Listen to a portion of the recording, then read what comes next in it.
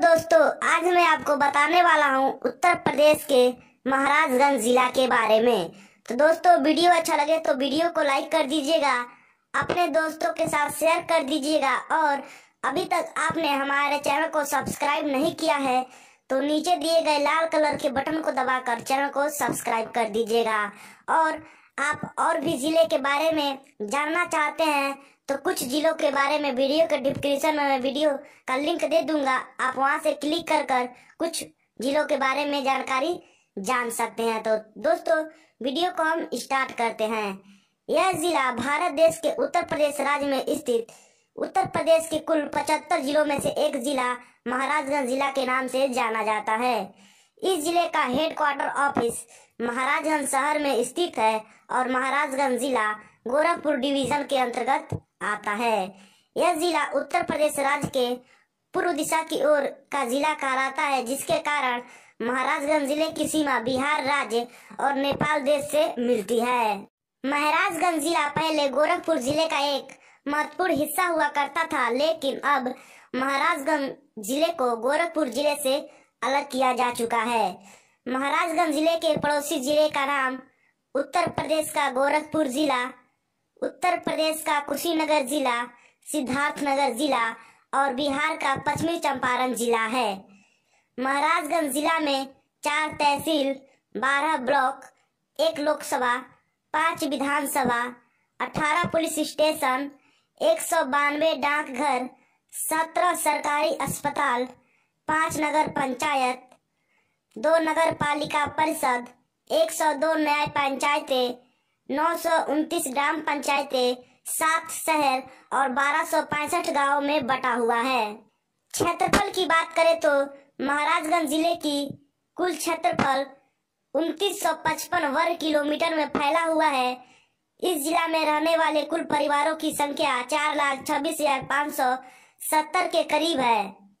आबादी की बात करें तो 2011 के जनगणना के अनुसार महाराजगंज ज़िले की कुल आबादी 26 लाख पचासी हज़ार के करीब है, जिसमें पुरुष की आबादी तेरह लाख बयासी हज़ार तथा महिला की आबादी तेरह लाख तीन हज़ार के करीब है।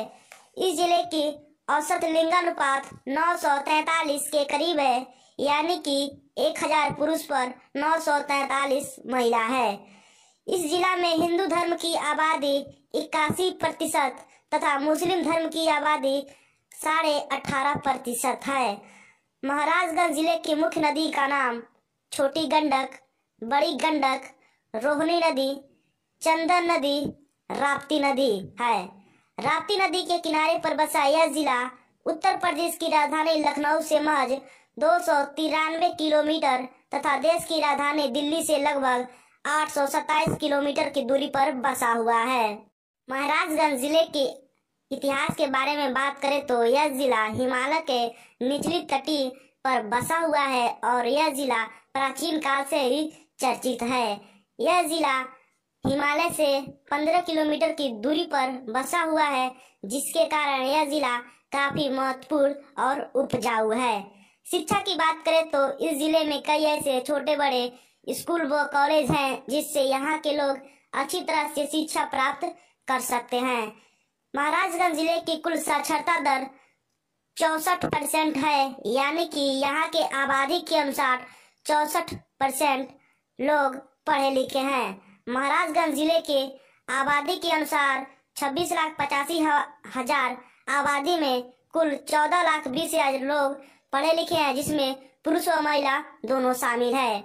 व्यवसाय की बात करें तो इस ज़िले के मुख्य व्यवसाय खेती है और राप्ती नदी और गंडक नदी के किनारे पर बसे होने के कारण यहाँ की मिट्टी काफ़ी उपजाऊ है।